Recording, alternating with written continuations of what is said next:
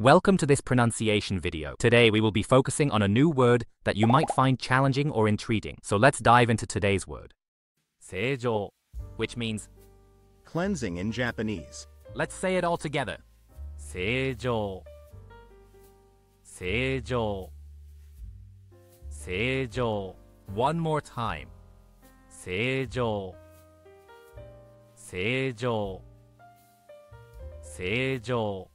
Thank you for joining us on this adventure in pronunciation. Remember, language is a journey, not a destination. Keep exploring, experimenting, and expanding your linguistic horizons. We'll see you next time.